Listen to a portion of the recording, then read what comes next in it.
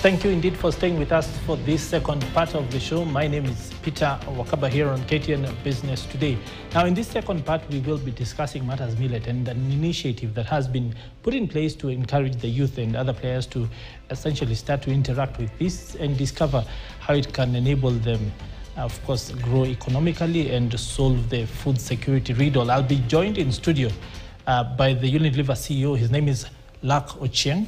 Uh, we'll also have in studio George Njoroge from uh, the Farm to Market Africa uh, program uh, of uh, the World Food Program, and of course, Professor Catherine Kunyanga from the University of Nairobi. Now, to just build uh, the context around this, now, off the back of the Standard Group initiative recently to engage students and other young people in the role that they can play in the transformation of food systems, we are discussing the Great Millet Quest.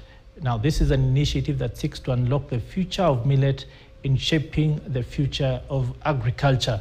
And I think a good place to start is ask why millet and why Unilever? I think we start with you. Yes, yeah. Yes. So thanks for having us. Yeah, why Unilever and why millet? So Yes. I think to explain this, let me take a step back. eh. So if you look at what is happening across the world right now, uh, the world is changing. Yes. We have the effect of climate change. We have geopolitical tensions, problems that are affecting global trade, which uh, also get to affect uh, businesses like ours. And in all that setup, it then gets to bring to focus food security or food insecurity for that matter. So, as a business, Unilever, we have this belief that we need to have a positive impact in every community that uh, we get to operate in. And one way of delivering that sustainability is through regenerative agriculture. So it's an area that Unilever is looking at uh, globally to look at ways in which we can be able to support uh, regenerative uh, agriculture, but also drive business sustainability. Now, the global supply challenges have been such that Yes. building resilience around the sourcing of raw material is a key part of business uh, uh, management. And uh, with that, we then looked at for the inputs that go into our products and in alignment with that desire to have a positive impact and offer from a food perspective nutritious offering into the market we looked around and we saw that opportunity uh, where there's an untapped potential around millet in terms of the impact that it can have in solving some of the challenges that have Yes. been brought uh, by those scenarios that I've uh, explained uh, uh, as well. Now, we then looked at all the crops, and, and in our business, uh, millet is one of the what we call the future 50 future foods. And the kind of environment that we operate in, the climate, is very ideal for growing of millet. And millet, as a crop, is actually a very nutritious grain.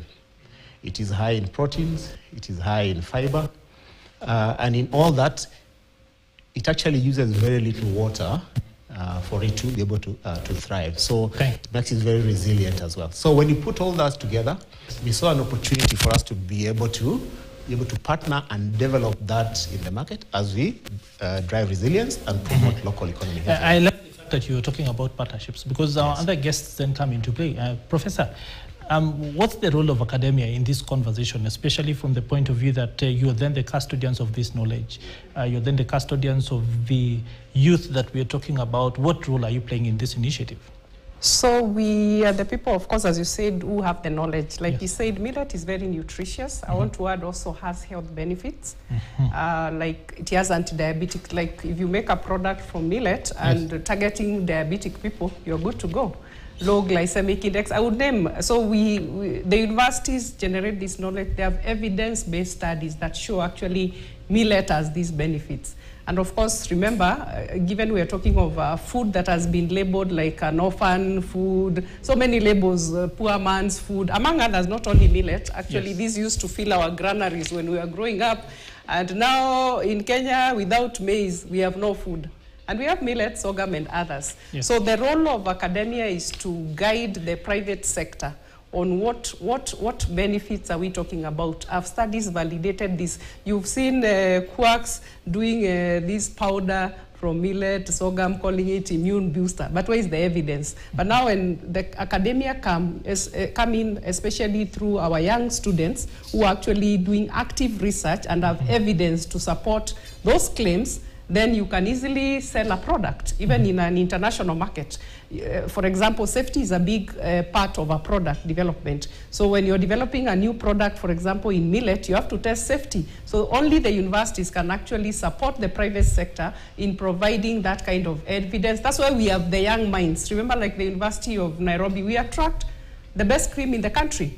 Uh, agriculture is our big, big, big sector in the university, and also we are mentoring students to like agriculture. It's not farming. Agriculture has gone beyond that level. So for us to address food security, then we need innovations in agriculture. We need to change how agriculture has been uh, done before by our mothers, our great grandfathers, for example, and bring young people who can bring digital technologies can come with innovations in millet. These are what will drive the market because I can assure you without market, farmers will not produce millet.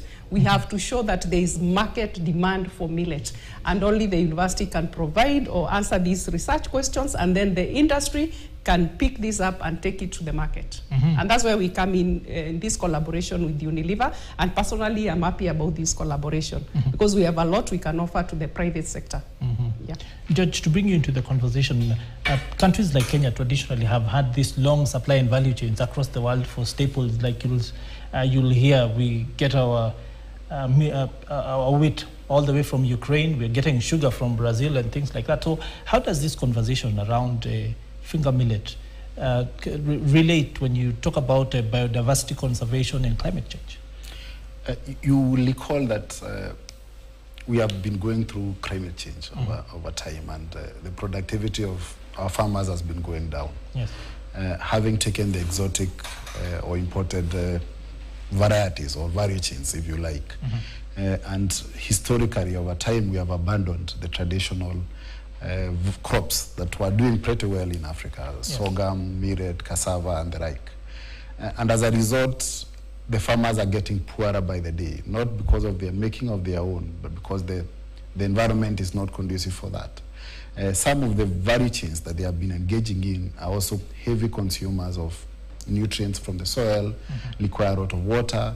Uh, so we had to come in and look at where are those value chains that we Africans used to grow them Yes. uh, without much costs and uh, within the challenging environment they are able to to consume less water less nutrients uh, they are resistant to, to, to pests and diseases. Uh, and when we, we we started discussion with Unilever and Future Food 50 Food uh, Coalition we show this is the right place to be as, as a WFP organization where we are focused on food security as a one factor then how do we also work around productivity and income generation for the farmer? And also how do we take care of the, the, the, the environment and biodiversity and what are those things that we need to, to build a, as a result? Uh, again, uh, the genetics, uh, it's a traditional crop, so it's still able to preserve genetics that uh, you can use wild uh, cereals to continue propagating it and build a resilient uh, value chain. Okay. I want to bring you back here in, in Catherine, and mm. on the basis of something you've just said that this goes beyond, uh, beyond just agriculture. Mm. Talk to us about the opportunities across the value chain that the youth can tap into in regards to this crop mm-hmm. and what that can then lead to in terms of growing the economy. Actually, when Unilever contacted us through the Faculty of Agriculture, thi- this is a faculty where we look at the entire value chain because we have departments all the way from uh, looking at research and training in all the way from when you grow the crops, the agronomy, uh, what you should spray, what at what time, all the way to the market. Because we have also Department of Agricultural Economics. So I'm glad Unilever because they'll be getting the best of the best because we have to look at it from the beginning uh, do we have the right seed for millets? I know traditionally we had those millets, and like I could see my grandmother select the best, which was happening also with maize. But right now I can tell you it cannot work because we have so many varieties, new varieties. Sometimes I see farmers getting confused. So I, I see this coming up. Do we have the right seed for millet that would give good yields? Because also farmers are concerned about good yields and also less inputs.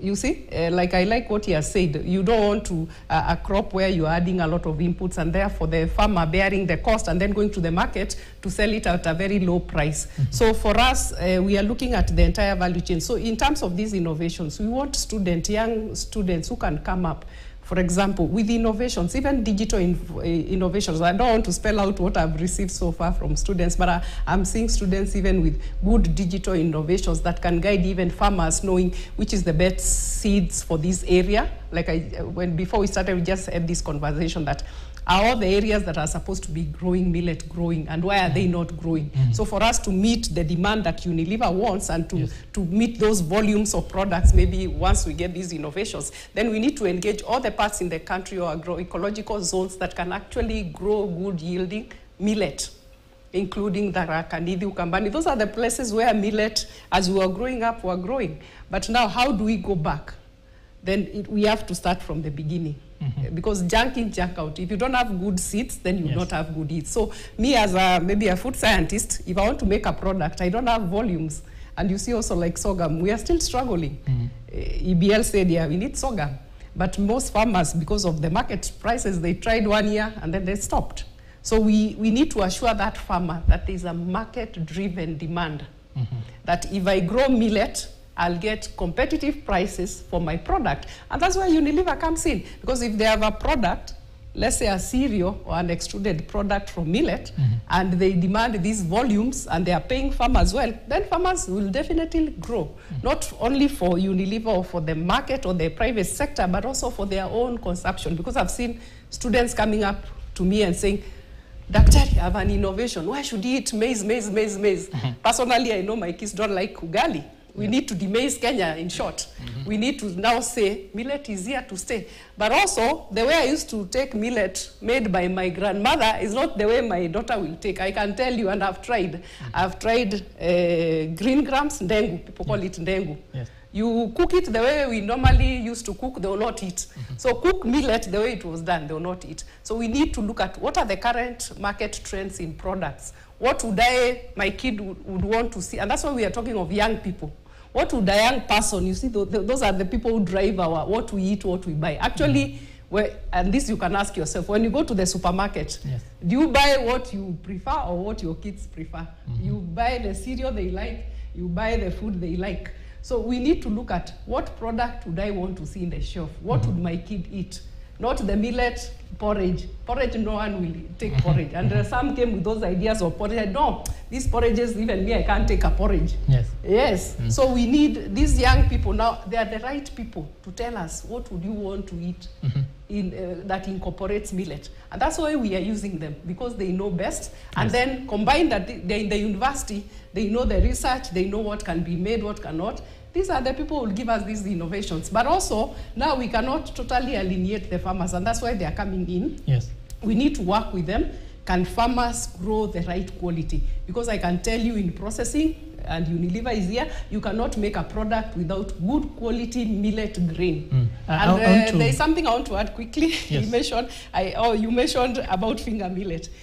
Millet is very, I was telling him, if you give someone sorghum and millet, they will not know the difference. Mm-hmm. Also millet, we have different varieties. I know Kenya is mostly pearl millet and also uh, finger, Finger millet, millet, but yes. we have also other millets. So what type of variety are we talking about? So Mm-hmm. there are so many things we need to think about and see what is best for our Kenyan setup or African setup that can really produce volumes for the market. Okay. Yes. I wanted to bring the CEO back in here, and especially uh, because both guests have uh, kept talking about how Unilever uh, came with the vision of what uh, you want to do, the vision of this new product, uh, the vision of integrating millet into this commercial value chain.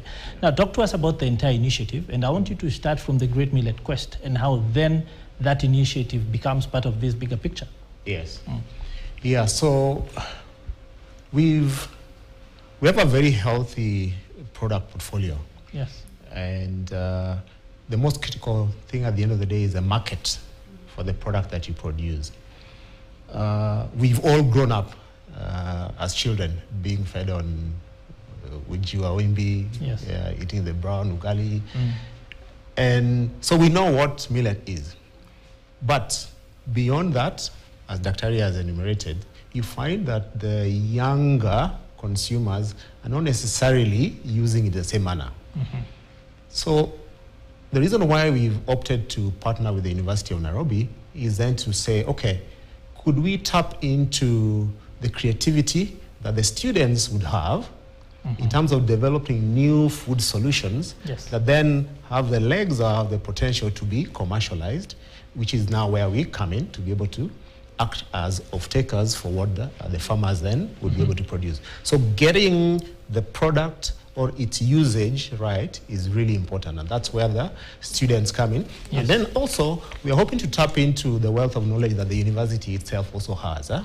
Yeah, as Dr. has enumerated, a lot of research has gone into this even before, and there is a great opportunity for us to be able to work together, the private sector and the university, to be able to tap into uh, this wealth of knowledge uh, as we uh, take, look for opportunity uh, eventually, really, eh, Yes. to fulfill our responsibility, which is to have a positive impact in the community that, that uh, we operate in. We have just about five minutes before we conclude, and I want to come round for a, a sort of last uh, uh, cycle of comments. And I want to start here, uh, George. The fact that uh, from where you sit with the farm to market initiatives, what are the challenges farmers are facing? What are the opportunities in this for youth and other people? Because we want to talk money on this show, and then of course, what in terms of policy needs to be done to create uh, this entire, bring this entire picture together.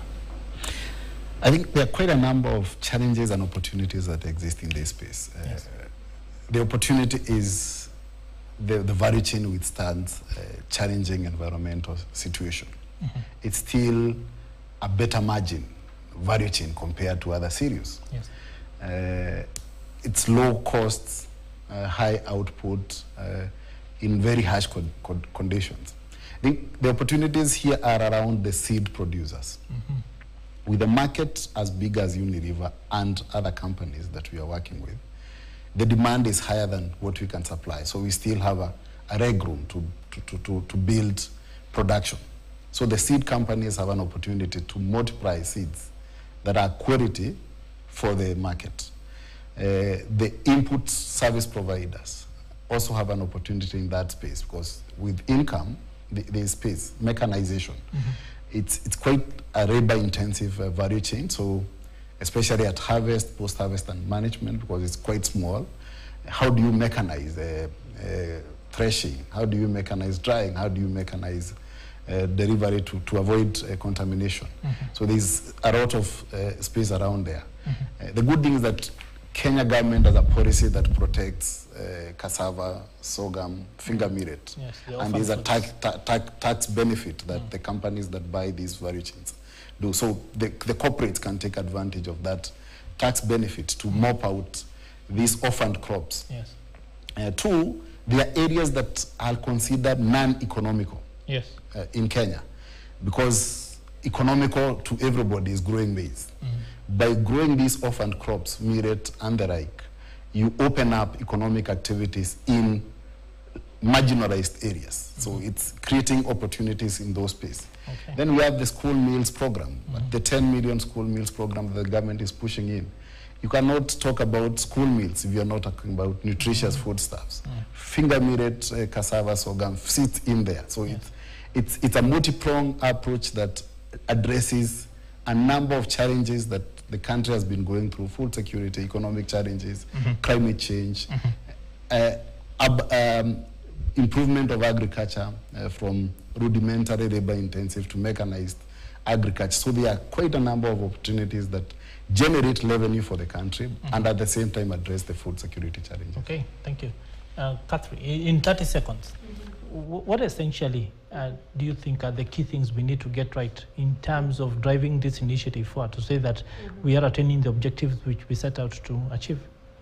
Okay, so for me, and uh, this is where I applaud uh, Unilever for partnering with the university. That partnership has been weak. I would not say it's not existent because yes. we've, we've, we've had it with different industries. But I'm comparing with places like Europe where I got educated. And Yes. um, in the universities, actually, it's the universities that uh, give solution to the private sector. In Kenya, you find it's the other way sometimes Yes. because they do not come to the university to tap on the knowledge we have. And I'm glad that the University of Nairobi, and especially in the office I sit, that we are now really trying to work with the industries, giving them back and also communities, not only the private sector. I can tell you last week I was in Kibwezi training farmers on baobab, value addition and stuff. So we are no longer that ivory tower that used to publish, again, an academic angle from the books you've written and stuff. But now we are moving towards where we are supporting the private sector, uh, uh, sector the local communities, the farmers, to give back to the community what we, we generate through, through research. So these research outputs are what can help change Kenya, achieve food and nutrition security.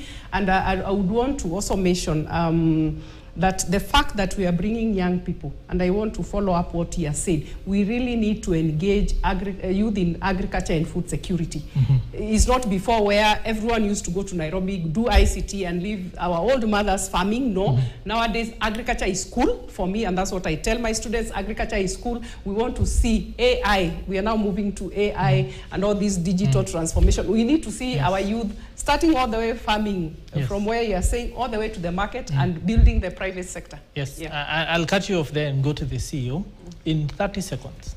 A lot of people watching us today will be asking uh, themselves, I see opportunity, so where do they start?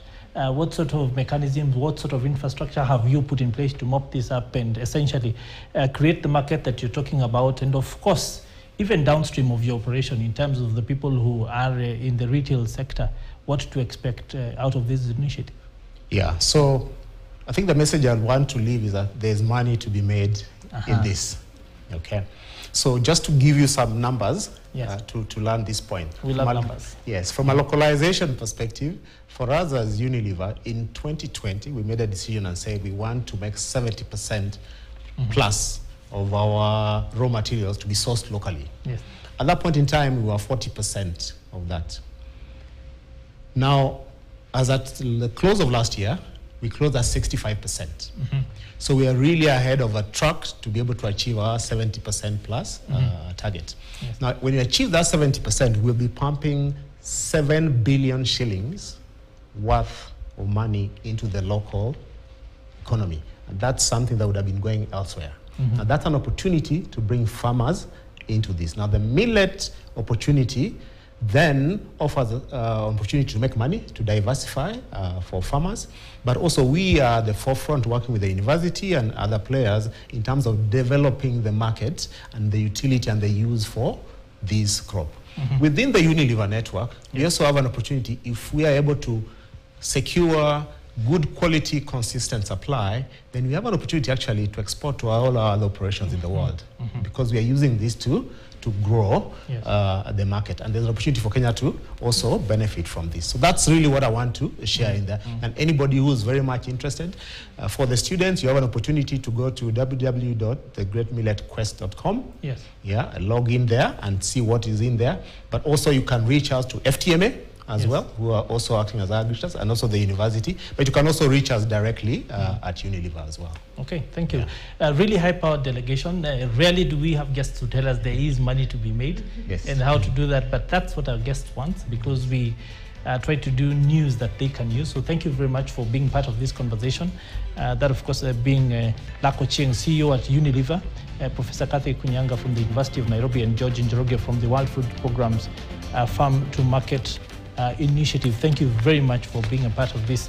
On that note, uh, we want to bring an end to this conversation, but of course, to remind you that uh, we will continue to bring you this sort of incisive discussions that tell you exactly where the money is and how to get it into your pocket. And of course, to continue looking out for uh, interesting conversations around agriculture. My name is Peter Wakaba. Do have yourselves a good afternoon and thank you for staying with us here today on Business Today. See you next time.